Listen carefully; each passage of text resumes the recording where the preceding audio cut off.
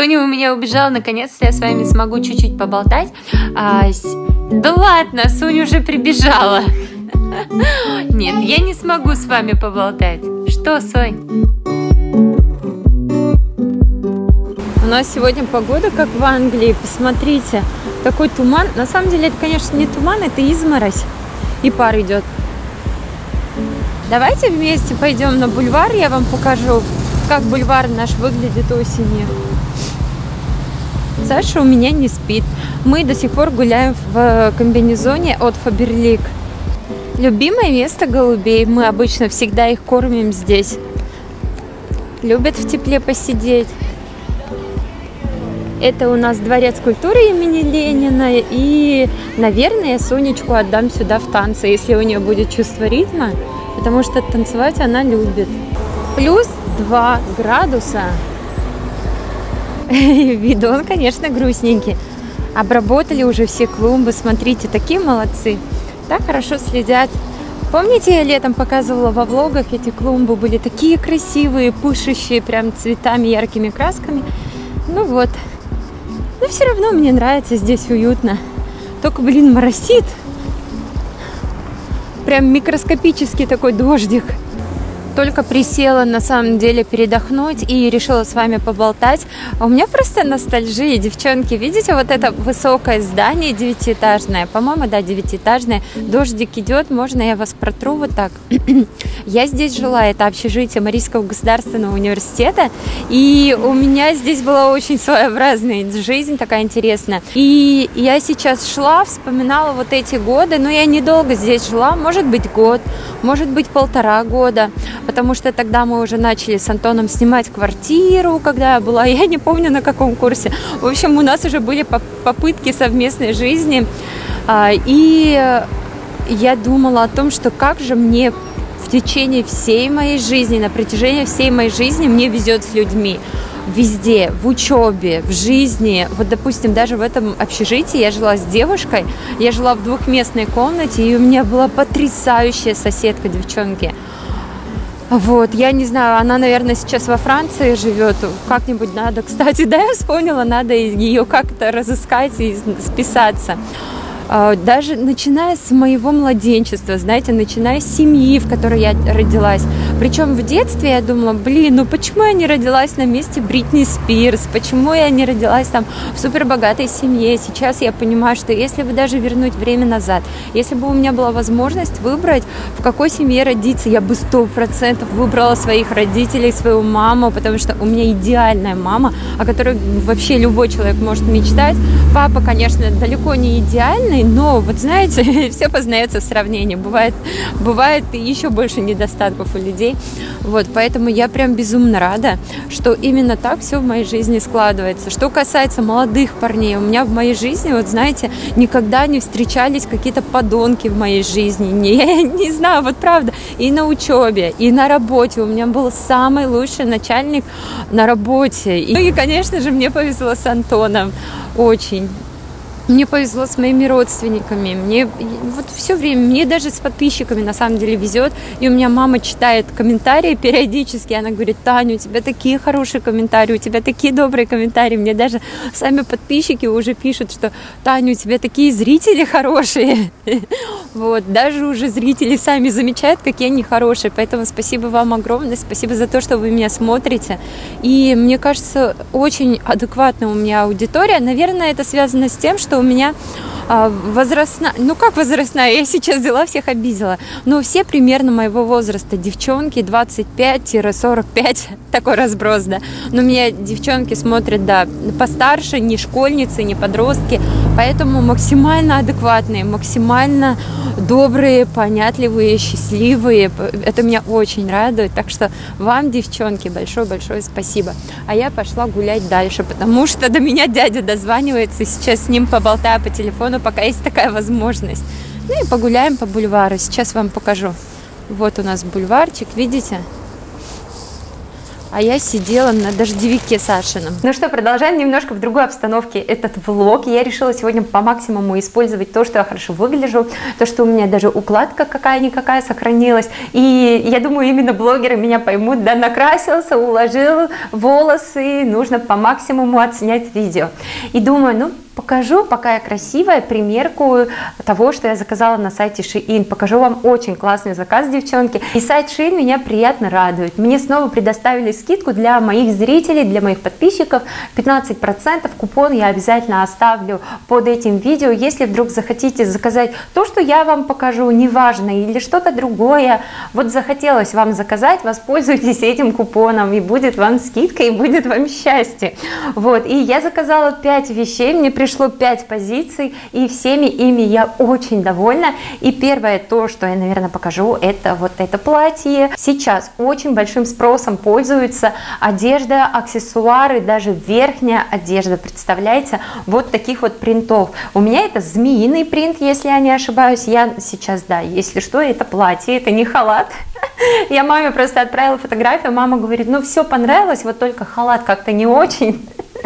Ну, это понятно, на вкус и цвет, все, фрам, все фломастеры разные. Я никого, я не утверждаю на сто процентов, что вам это должно нравиться, но платье прекрасное, на мой взгляд. Оно классного, крутого качества, на мой взгляд. Оно стоит недорого, оно скрывает недостатки. Если у вас есть хоть чуть-чуть небольшой там живот, небольшие бока, это платье все скрывает и подчеркивает достоинство. Если у вас красивая грудь, э, красивое декольте, здесь очень глубокий вырез, кстати говоря. Можно его, конечно, по желанию чуть-чуть прикрыть, но зачем, да, и так оно очень-очень такое скромное платье. Хотя вот принт, да, расцветка платья такая змеиная, она все равно говорит о том, что э, девушка, которая выбрала себе платье в такой расцветке, какая-то чертовщинка в ней есть. Это я сейчас про себя.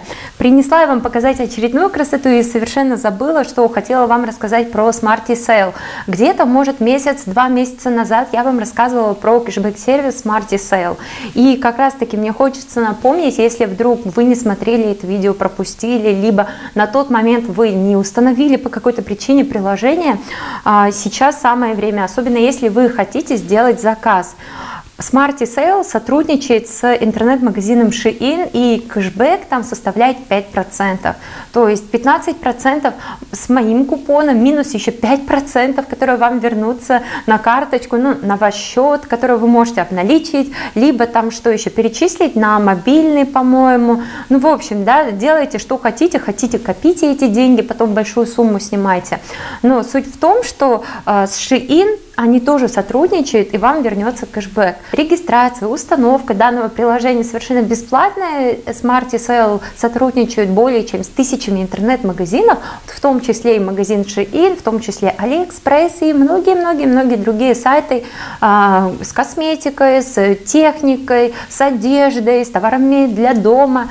Поэтому перейдите, посмотрите, если вас заинтересовало, если вы до сих пор не пользуетесь кэшбэк-сервисами. В прошлом видео говорила, и в этом видео повторюсь, что что, наверное, глупо не пользоваться кэшбэк-сервисами, если есть возможность вернуть, ну, сэкономить, пускай даже 100-150 рублей, почему бы это не сделать? А, так, что касается моего заказа, что я еще заказала? Вот такую кофту. Это у нас кофта в размере S, да, вы ее увидите, как она смотрится на мне. Она по, ней не скажет, что это размер S. Кофта мне это очень-очень понравилось. Мне кажется, что мне безумно идет вот этот небесно-голубой цвет. Он очень нежный. Вариантов расцветки было 4 или 5. Был нежно-розовый, какой-то пудровый, вот э, голубой, зелененький, белый. Я сама выбрала голубой цвет. Мне кажется, что я не ошиблась. А, и мне понравилась вязка. Мне нравится сам материал, потому что на ощупь ткань, э, ткань пряжа очень приятная приятная. По составу я посмотрела, это стопроцентный акрил, девчонки. Но по ощущениям, ну, так не кажется, правда. И вязка интересная. С одной стороны, вот так вот выглядит кофта, а со спины получается просто такая двойная резинка. Всю одежду я заказала себе размера S. Вот только эта водолазка а, была, по-моему, one size, не было возможности выбрать. Но она мне подошла по размеру. Мне кажется, это действительно универсальный размер от 42, наверное, до 46 может быть до 48 даже, потому что водолазка тянется отлично. Эта резинка прямо, знаете, напоминает чулок. Мне очень понравилось, как сделана горловина, девчонки, посмотрите, Вот это просто продолжение водолазки. И очень-очень длинная она. Можно два раза загнуть, можно один раз загнуть, если шея длинная. Расцветка суперская. И сидит, мне кажется, вообще отлично. И выглядит вроде бы и скромненько, и в то же время немножко и празднично, и ярко, и интересно. Мне очень давно хотелось водолазку, именно вот такую серо-черную с люрексом. Вот, так что прям вообще моя моя вещь, очень нравится, универсальная, можно и с юбками, и с джинсами, и под жакет надевать. Отличное приобретение, мне кажется, вот это такая так называемая базовая вещь. Следующая кофта выглядит вот таким образом, тоже вязаная теплая кофточка, тоже размер S, цвет молочный, такой молочно-белый, и эта кофта у нас идет с бусинками и вышивкой на рукавах и на передней части, вот здесь на груди она смотрится эффектно, она смотрится интересно, мне кажется, и на учебу, и на работу, и куда угодно. Вообще очень, можно сказать, тоже и празднично, и в то же время скромно, сдержанно смотрится. Здесь ткань уже не такая приятная, как у голубой кофты, скорее всего, тоже стопроцентный акрил. И что примечательно, сайт Shein начал клепать а, бирочки свои, вот эти Shein. А, далее есть у нас вот такие даже веревочки, за которые можно подвесить одежду. Это практически практически на каждой одежде у них появилось вот что-то подобное. Ощущение, что ты э, заказал одежду в фирменном магазине. Смотрится классно, здорово, и стоимость, по-моему, тоже невысокая была, честно, не помню. И я не знаю, напишите мне, ценители моды, если вы следите за трендами, бусины, наверное, уже вышли из трендов, и, наверное, с бусинами уже никто ничего не надевает, а я вот до сих пор хожу, у меня пудровый розовый свитер есть с бусинками, он мне очень нравится. Вот теперь вторая кофточка появилась. И вообще напишите, носите ли вы что-то подобное. Следующее, то, что я покажу, девчонки, это юбка. Это моя мечта. Я очень-очень давно хотела юбку плисе. И в таком цвете это просто вообще огонь, девочки. Изумрудный цвет, изумрудно-зеленый цвет. Как он красиво переливается. Посмотрите, юбку я хотела именно такого плана плисе. И цвет я хотела либо серый, такой насыщенно серый, серый, темно-серый, либо насыщенный изумрудно-зеленый цвет. И длину я хотела именно вот такую middle. Мини я уже почему-то все, не хочу носить э, короткие юбочки, вроде бы и ноги пока позволяют, сама себе сделала комплимент, но мини как-то у меня уже не тянет носить, на макси у меня роста недостаточно, а длина middle, мне кажется, она смотрится женственно, стильно, и что касается вот этой юбки, мне она очень понравилась. Но, девчонки, не все-таки идеально, минус в этой юбке есть, именно в пошиве. Наверное, это мне такая юбка попалась, потому что все отзывы были были э, исключительно положительные у покупателей, у реальных покупателей. Короче говоря, вот здесь э, есть длинный замок скрытый, сейчас я вам покажу, и его неаккуратно пришили сбоку. Вот здесь немножко топорщится, вам, я думаю, что видно. Когда, конечно, я надеваю эту юбку, не так заметно становится, но все равно я знаю, что у меня что-то там не то. И, скорее всего, я отдам на перешив, чтобы все было аккуратненько, красиво. Но сама по себе ткань вот эта атласная, она очень плотная. И размер этой юбочки у меня тоже S. Опять-таки бирки Shein везде. А здесь, а здесь тоже есть, смотрите-ка. Юбка очень классная, женственная, красивая красиво. Если вы любите подобные вещи, можете обратить внимание, если вот, да, вы не боитесь того, что, может быть, это не случайно, может быть, у них все юбки идут вот такие бракованные. Я не могу, к сожалению, отвечать. Но вот опять-таки повторюсь, что отзывы были хорошие. Сразу отмечу, что я снимала обычную примерку, я не создавала какие-то образы, чтобы все друг с другом сочеталось, просто чтобы вы посмотрели, как эти вещи смотрятся не на модели на сайте, а на обычном человеке. Рост у меня 164 сантиметра, Э, так, размер я ношу 42. Ссылку на каждый товар, на каждую вещь я оставлю внизу, вы найдете в описании. По размерам я сказала, что у меня размер S, э, заказывала всех вещей. И ссылку я обязательно оставлю на кэшбэк-сервис Smarty Sale для установки. И обязательно, конечно, оставлю купон на 15%, поэтому заглядывайте в инфобокс. Девочки, пришла я себе кофе сварить и решила показать вам, как я это делаю и немножко рассказать про работу нашей кофемашины, какая она у нас, а, какие у нее функции, потому что много вопросов возникло под моими предыдущими видео. И немножко о ней расскажу. Выбирала я ее сама, выбирала исключительно по отзывам и, естественно, цена тоже имела, э, так скажем, да, весомый аргумент. Сейчас, кстати, вот стоимость данной кофемашины не упала, почему-то она стоит столько же. Мы ее приобретали за 25, по-моему, тысяч рублей. Это у нас марка DeLonghi, всем известная марка, бренд, который производит хорошие, качественные кофемашины и не только кофемашины. Модель называется Magnifica S, полное наименование я обязательно оставлю а, в описании видео, загляните туда. Но сразу же, забегая вперед, могу сказать, что есть уже усовершенствованные версии данной кофемашины, поэтому если вы хотите что-то посовременнее, есть варианты, то есть вы можете рассматривать рассматривать. Почему здесь у нас всегда стоит чашка? Потому что, когда начинает работу свою кофемашина, вот нажимаем кнопочку, и она начинает себя прочищать, прогревать. Каждый раз она при каждом включении делает. Далее давайте вот этот носик мы опустим. И вот посмотрите, машина заработала. А сейчас она себя сама будет мыть. И точно так же при каждом выключении она себя моет. Поэтому у нас всегда стоит здесь дежурный стакан, дежурная чашка. Если этой чашки не будет, у нас все будет стекать вниз она вот таким образом себя промывает, видите, ну небольшое количество воды, но это горячая вода, это кипяток. И еще у нас индикатор загорелся тут на днях, недавно совсем. Красный индикатор сообщает о том, что нужно э, воспользоваться средством от накипи. Каждые где-то, наверное, полгода, ну в зависимости от того, как часто вы пьете кофе, загорается вот эта лампочка, которая сообщает о том, что нужно промыть просто машину. Это делается, ну, не очень просто. И я этим вопросом занимаюсь, потому что Антоша у меня не захотела разбираться и запускала машинку, а, собственно, тоже я. Нужно определять уровень жесткости воды, проходить тест, который прямо в комплекте идет к кофемашине. И еще есть возможность выставлять некоторые функции, например, помол кофе, а, который выставляется вот там есть у нас, видите, круглый рычаг. Еще можно регулировать время автоматического выключения кофемашины. У нас стоит время сейчас полчаса, потому что нам это удобно. И еще можно регулировать, по-моему, даже объем чашки можно делать меньше, больше. Какие у нас есть здесь варианты? Есть у нас эспрессо, вот эта кнопка, есть двойной эспрессо, американо и двойной американо. Я всегда пью американо с добавлением молока, ну практически кофе глиссе получается. Это у нас кнопочка пара. А, пар нужен нам для того, чтобы делать капучино. Я вам оставлю ссылку на видео, где я готовлю капучино.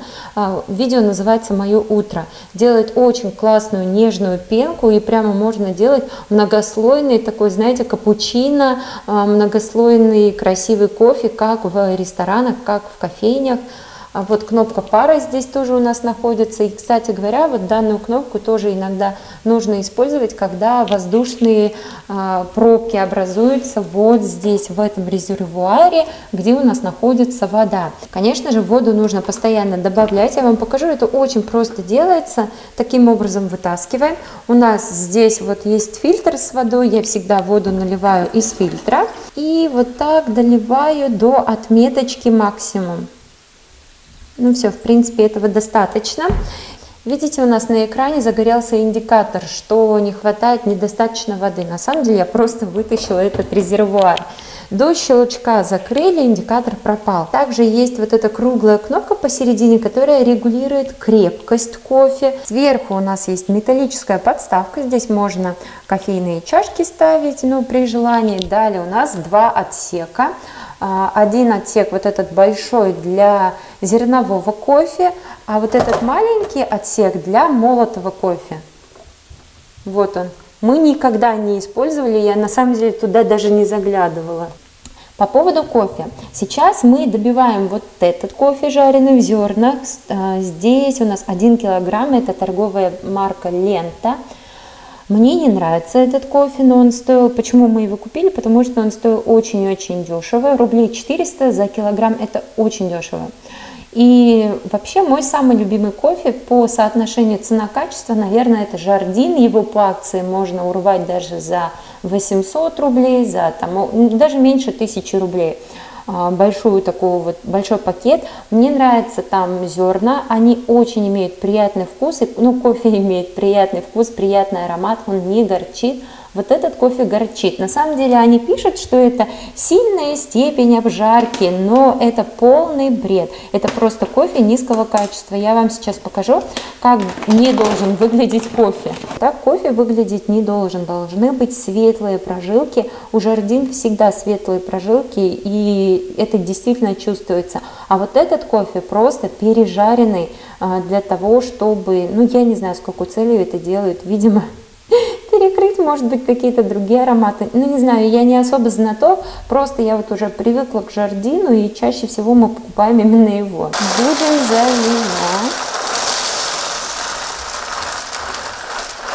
Но даже несмотря на то, что кофе не самого высокого качества, а, вкус получается у кофе очень насыщенный, очень вкусный. Конечно же, он не, я не знаю, вообще ни в какое сравнение не идет с растворимым кофе, даже самым дорогим кофе, поэтому в любом случае, даже дешевый вот такой зерновой кофе, он гораздо лучше растворимого раньше. К слову-то говоря, мы покупали все время растворимый кофе. Убираем капучинатор, и я сейчас буду немножко вот здесь протирать, потому что брызги летят,